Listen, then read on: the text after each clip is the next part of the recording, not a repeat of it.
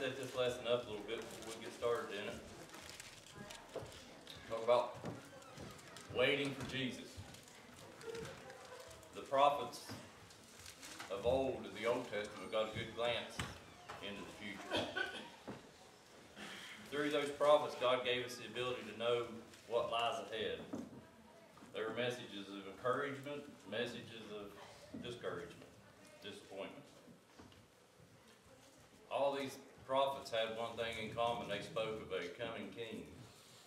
From Genesis to Malachi, there was that anticipation of Jesus coming. The books were written by different authors at different times over centuries, but all had one thing in common. They were all bound together as God's chosen people.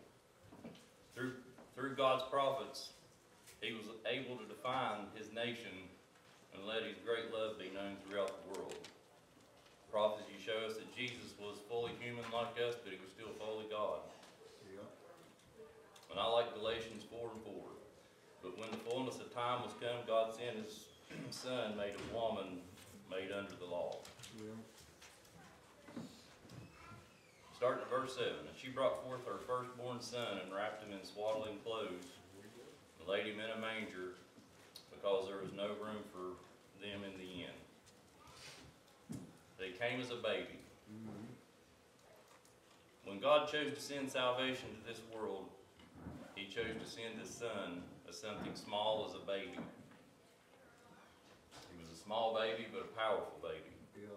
When God established his Jewish nation from which his son would enter the world, he sent a baby boy to a barren couple, Abraham and Sarah. Yeah. Then you had Isaac, who fathered Jacob. Jacob fathered the 12 tribes of Israel. So when God's people were in bondage in Egypt, God needed a deliverer. He sent a baby boy to a devout Jewish couple, and Moses grew up to become that deliverer. When Israel turned to idol worship and turned away from him, God sent a baby boy to Hannah and Elkanah named Samuel, who led the nation back to God. Ruth and Boaz had a boy named Obed, Obed's grandson David, born eventually a king. Yeah. God used David to reestablish the kingdom King Saul almost destroyed. And that's what the people wanted was Saul. Yeah. And th- then Jesus would be born through that lineage. So the picture, babies may be small, they're some of God's best answers to our need, biggest need. Talk about the shepherds and the angels. Verse 8.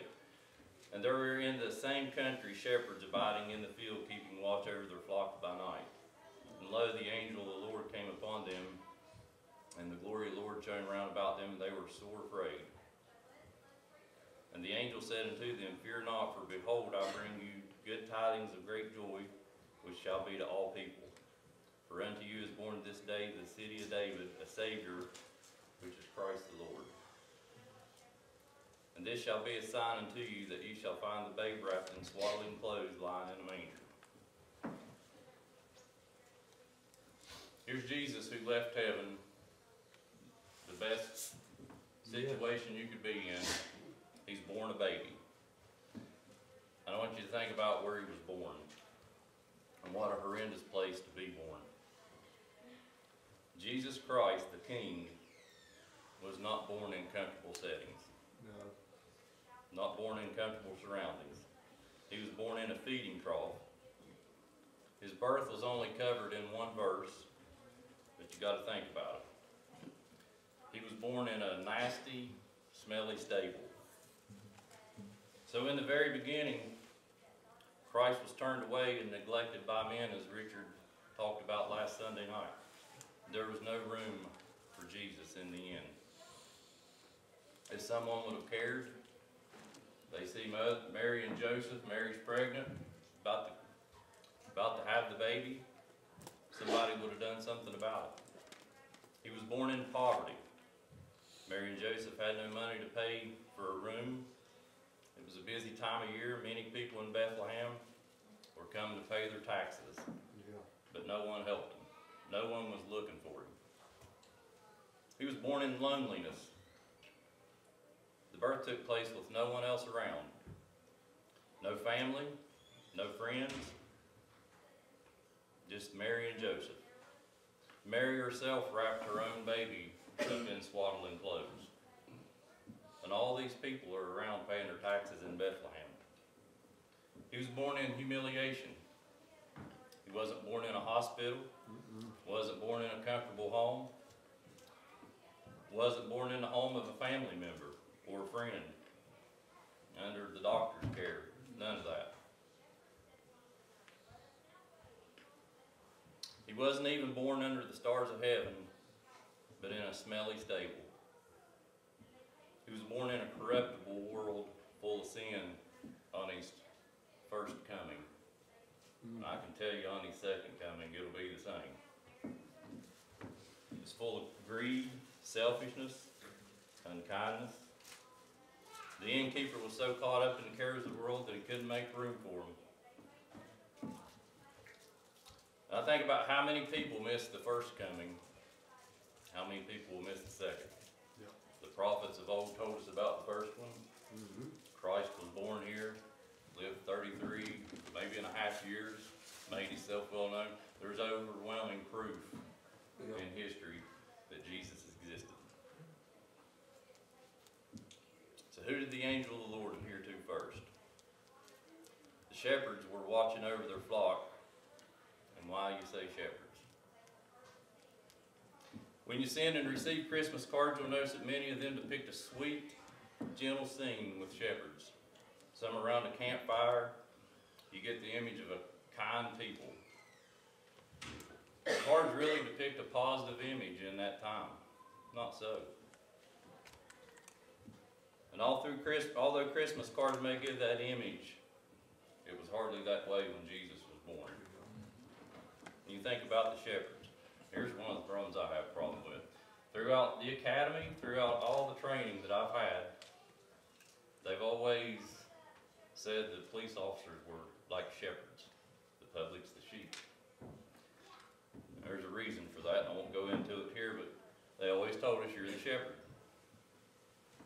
Until I start studying this and realize what people have to say about shepherds. We know all the way back in Genesis that shepherds were despised. Makes me feel good. They were loathsome. Being a shepherd was a despised occupation. I get that. I get the disappointed look when I knock on the door or go up to a window. Shepherds were the last people you would expect to be worshiping God. Their jobs as shepherds, they didn't make it to the temple worship. They didn't make it to church services. They didn't get to observe the Sabbath. Shepherds were reviewed or viewed as ignorant, stupid, irreligious, immoral, crude, vulgar, and they stunk. I hope I don't stink. Smell like a pig. Yeah. All that said, it made them unceremonially clean. Shepherds, I'm, I, I'm not doing. Shepherds were known to be lazy, dishonest, often getting accused of letting their flocks graze on other people's pastures.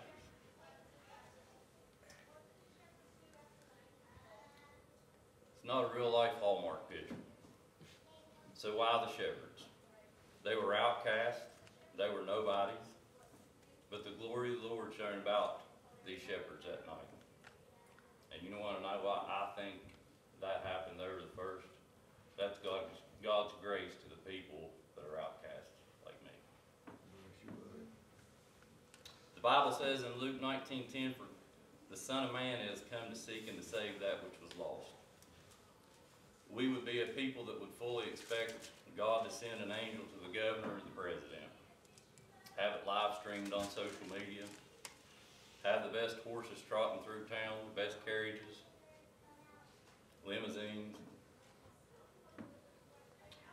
Jesus left the splendor of heaven because of people, because of sin. Right. People like shepherds, people like us, black people, white people, poor people, rich people, big and little. He came for whosoever will. Amen. And in this text, the angel of the Lord appears to the foulest people in Bethlehem to announce the birth of Christ. He came for outcasts too. And that's why he started out with the shepherds. God made a shepherd. In David, God made a shepherd into a king. In Jesus, he made a king into a sacrificial lamb. Yeah. Verse 13, and suddenly there was with the, the angel a multitude of heavenly hosts, praising God and saying, Glory to God in the highest, and on earth peace, goodwill toward men. The angels made a spectacular appearance before the shepherds. They cried out for the glory of God to be lifted up. The angels cried for peace and goodwill toward men. The angel of the Lord appeared to Zechariah, the father of John the Baptist. He appeared to Mary, telling her the Son of God would be born to her. The angel of the Lord appeared to Joseph, telling him to take Mary as a wife. Thirteen times recorded in the Gospels, Jesus used the phrase, I have come. I've come to call sinners. I've come in my Father's name. I've come to do the will of my Father. And I like this one, I've come that you may have life and have it more abundantly. Mhm. Jesus had his first coming. A lot of people missed it not to miss that one. Yeah, amen. Bless your heart.